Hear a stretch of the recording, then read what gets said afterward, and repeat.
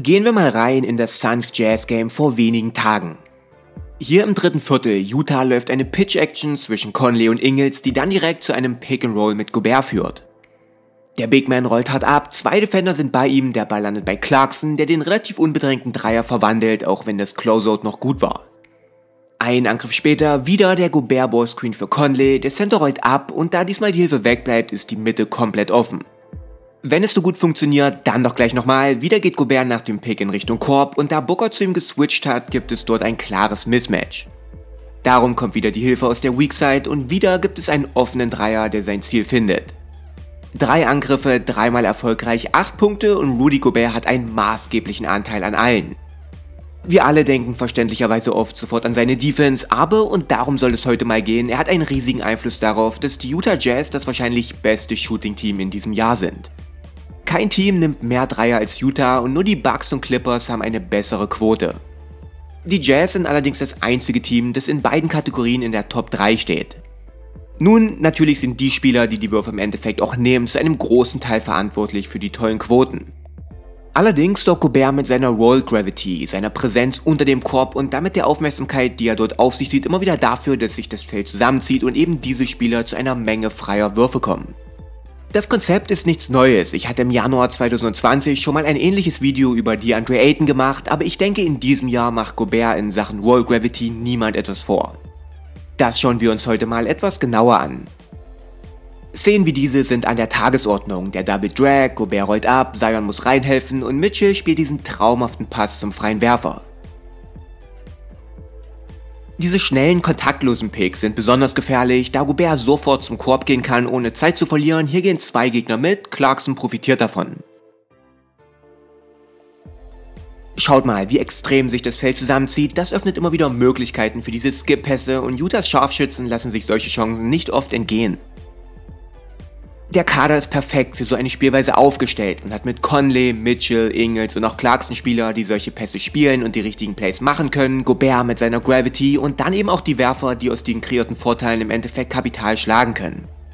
Und wie immer, Abwechslung ist key, nicht immer nur Pick and Roll von oben, sondern auch mal von der Seite, wie hier gegen die Lakers. Morris muss ganz weit reinkommen, Conley fake LeBron mit den Augen aus und Bogdanovic trifft 44% aus der rechten Ecke. Oder hier gegen Miami, ein Empty Side Pindown, Olynyk ist gezwungen ganz weit reinzugehen, diesmal nutzen sie die Chance aber nicht. Im Boxscore findet man das nicht, für so etwas muss man wirklich die Spiele schauen und ich glaube Utah-Fans sehen das ganz genauso. Die Jazz-Offense ist besser, wenn Gobert mit auf dem Parkett steht, ein Grund ist, denke ich, auf jeden Fall auch seine Gravity. Aber warum hat ausgerechnet Rudy Gobert so eine Anziehungskraft mehr als andere Bigs? Gravity hängt doch mit Gefahr zusammen, Beispiel Steph Curry, der Shooting Gravity des Todes hat, weil er eben auch der beste Werfer ist. Nun, die Wahrheit ist, dass sich Gobert heimlich still und leise zu einem der besten und eben auch gefährlichsten Rollmen der NBA entwickelt hat. Das zeigt nicht nur das Tape, sondern eben auch Stats, die das Ganze belegen. Von den 27 Spielern mit mindestens 100 Rollman Possessions in diesem Jahr machen nur drei mehr Punkte dabei im Schnitt. Von den drei Spielern mit mindestens 200 solcher Angriffe ist Gobert mit Abstand vorne mit starken 1,29 Punkten pro Angriff. Gobert nutzt jede Gelegenheit für einen Dank, die er bekommen kann. Er weiß, wie er seinen Körper einsetzt und unter dem Korb auch physisch spielen kann. Und schaut mal, wie er hier sofort um die tiefe Position kämpft, da kannst du als kleinerer, schwächerer Spieler nichts gegen machen, wenn keine Hilfe kommt. Und Gobert Skills, hier nach dem Catch mit dem Eurostep gegen den Defensive Player of the Year. Hier rollt er sofort ab, so schlägt man Traps nach Lehrbuch mit schnellen Slips, bevor er dann geduldig wartet. Anthony Davis ist der beste Lobcatcher der NBA, aber auch Gobert sollte in dieser Liste relativ weit oben sein. Egal ob einhändig oder mit beiden, egal wie man ihn anspielt, Gobert vereint die Skills beim Fangen mit dieser enormen Größe, so gut wie kein Pass ist außerhalb seines Catch-Radius. Also, kommt die Hilfe zu spät rein oder sogar überhaupt nicht, dann sind es in der Regel einfache Punkte für Utah, so gut ist Rudy Gobert als Abroller einfach mittlerweile. Hier verschläft Derrick Jones Jr. die Rotation zur Mitte und fängt Gobert den Ball erstmal hier, ist es einfach zu spät. Darum müssen Teams reinhelfen, darum muss sich das Feld einfach zusammenziehen, weil man diese quasi geschenkten Punkte einfach nicht abgeben darf. Klar tun freie Dreier weh, aber freie Danks zuzulassen ist auch keine Option. Wir haben jetzt Szenen gesehen, wo Gobert entweder den Ball bekommt und es selber macht oder die Pässe direkt raus zu einem Werfer gehen. Utah kreiert aber auch haufenweise freie Dreier damit, dass Gobert angespielt wird und dann selber rauskickt.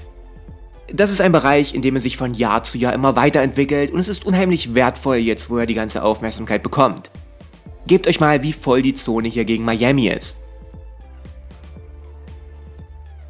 Gobert spielt nur Look-Pässe in die Ecke, um den Defender, der den ersten Pass nimmt, auf die falsche Fährte zu locken.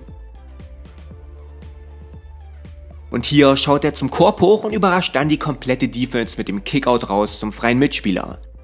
Solche Pässe, wo er nicht mal rausschaut, sind auch keine einmalige Sache, das macht er immer wieder. Hier täuscht Gobert den Monsterdank an, Luca geht rein, Melly zeugt auf den Pass in die Ecke, Gobert macht das richtige Play. Das sind alles keine Heldentaten von ihm, nichts, was nicht auch eine Menge anderer Bigs auch können, aber Gobert vereint halt Gravity, Skills als Rollman Finisher und eben auch als Passer und das macht ihn speziell in dieser Utah Offense unfassbar und auch unterbewertet wichtig. Und ich möchte euch auch noch eine coole Sache nicht vorenthalten, er schafft sogar seinem Ballhändler auf Platz, also nicht nur einem dritten Spieler. Hier gegen Detroit sind zwei Spieler beim abrollenden Big, Ingles ein 50% Werfer wird einfach mal vergessen. Ähnlich hier mit Mitchell gegen die Mavs, sicherlich hat das auch was mit schlechter Kommunikation zu tun, aber eben halt auch mit Gobert's Gravity. Ich war teilweise wirklich schockiert, wie oft das passiert. Ich meine, dass Weakside-Hilfe reinkommt, ist ja ganz normal, aber Szenen wie hier sind schon ziemlich verrückt. Nun, wie äußert sich diese Gravity noch? Gobert rollt zwar viel ab, aber natürlich auch nicht ausschließlich. Er besitzt ebenfalls Anziehungskraft, wenn er sich im Dunkerspot befindet. Hier, zwei Netzspieler versuchen den Pass zu Gobert wegzunehmen, Utah kann aber im Endeffekt kein Kapital daraus schlagen. Was die Jazz dann aber halt auch auszeichnet, ist, dass sie Spieler im Kader haben, die bereit sind, den extra Pass zu spielen, dass ihr Spielsystem so ausgelegt ist, gute Würfe gegen sehr gute einzutauschen. Es wird ein Vorteil kreiert, in gewissem Maße sogar durch Gobert, der dann erweitert und schließlich verendet wird, das ist wunderschöner Basketball. Rudy Gobert's Gravity ist allgegenwärtig, zum Beispiel auch in der Transition. Ich bin ein großer Fan von solchen Rim-Running Bigs, die gewinnbringend spielen, weil sie es dem Gegner nicht erlauben, sich sofort zu sortieren.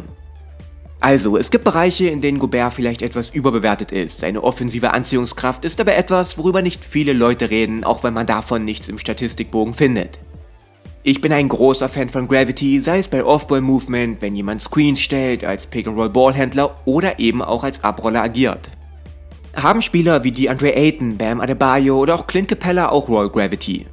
Auf jeden Fall, das ist nichts Einmaliges, Defender helfen ebenfalls rein, ein Adebayo-Dunk soll genauso verhindert werden wie einer von Gobert.